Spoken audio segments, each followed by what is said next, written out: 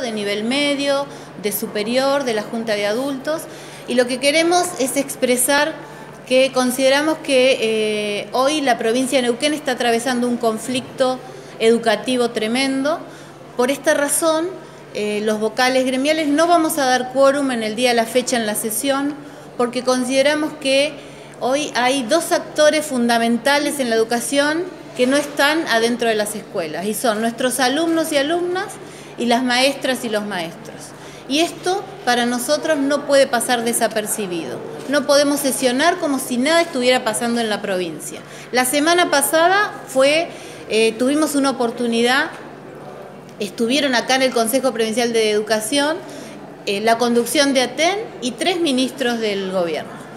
los, ministros se retiraron y no se pudo eh, llegar a una respuesta. Eh, a, una, un acuerdo, a una, se agotó la instancia de negociación ese día, después se continuó, pero no hubo una respuesta. Esto nos parece gravísimo y como representantes de los trabajadores de educación y de las trabajadoras creemos que desde este Consejo Provincial de Educación se debe dar respuesta. En este momento hay más de 100.000 chicos y chicas sin clase. Así que eh, no podemos sesionar como si nada estuviera pasando. Instamos al gobierno, el gobernador Gutiérrez tiene que darle una oportunidad a la educación, una oportunidad a las familias y no puede estar como si nada estuviera pasando. Bien, ahí retomando lo que dice Fanny, ¿no es cierto?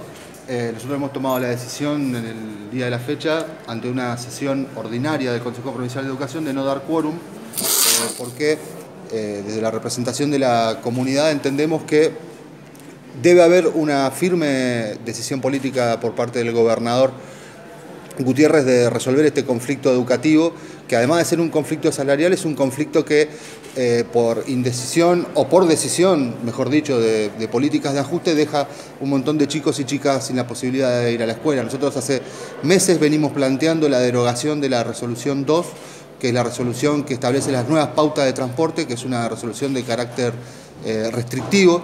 Hoy tenemos eh, cientos de niños y niñas que no están pudiendo asistir a la escuela eh, y ponemos esto dentro del marco de, la dilación innecesaria que está haciendo el gobierno provincial con el conflicto eh, sectorial con, los trabajadores y trabajadoras de la educación. Entonces queremos aprovechar la, ocasión para eh, transmitir esta, esta decisión que hemos tomado al conjunto de la comunidad y que entendemos que no es el ámbito de una sesión ordinaria del Consejo Provincial de Educación, donde el diálogo entre la representación de los trabajadores y de la comunidad debe eh, dar respuesta a, este, a este, reclamo. Eh, exhortamos a los funcionarios del Poder Ejecutivo, que están acá en el Consejo Provincial de Educación, la Presidenta y sus vocales, a que hagan las gestiones políticas necesarias para eh, que el gobierno convoque a una mesa, convoque al diálogo, se pueda destrabar el conflicto y en este ejemplo que ponía, como el de la resolución 2 de transporte, podamos volver al camino de la de, una educación que sea realmente inclusiva. Hoy el gobierno provincial está dejando afuera de la escuela a, los chicos y a las chicas. En carne propia, el gobernador vivió ayer en el norte de Neuquino el rechazo comunitario a los tarifazos. Esos tarifazos que impactan en el salario de todos los trabajadores, también en los trabajadores de educación. Trabajadores que hace 14 días vieron confiscados entre 5 y 10 mil pesos de sus salarios y no han sido devueltos, de manera ilegal y arbitraria. Entonces, sesionar como si nada pasara es esconder la realidad. Nosotros queremos solucionar este conflicto para que funcione todo el ciclo lectivo y no luego en junio tener otro conflicto y luego en septiembre tener otro conflicto. Por eso la organización le reclama al gobierno una respuesta integral para el sistema educativo. ¿Qué pasa? Por la solución de las demandas de los trabajadores, con una inflación prevista por los propios funcionarios nacionales de cerca del 23-24% y con la intención del gobierno de ponerle un techo del 15%. Por este camino y con los tarifazos lo único que logra es romper los vínculos comunitarios y no lograr resolver la situación educativa. Acá hay una responsabilidad política. Un gobierno que anuncia millones y millones de inversiones, millones y millones de aumentos de regalías por el aumento de valores relativos, nuevas producciones, pero que para la salud, para la educación, para el transporte del alumno a la escuela, no está invirtiendo. No puede ser que se le esté diciendo hoy a directores de escuela que a partir del mes que viene se tienen que encargar de ir a comprar las cajas de leche todas las semanas a los supermercados. Eso es desresponsabilizar al Consejo. Lo primero tiene que haber es voluntad de solucionar.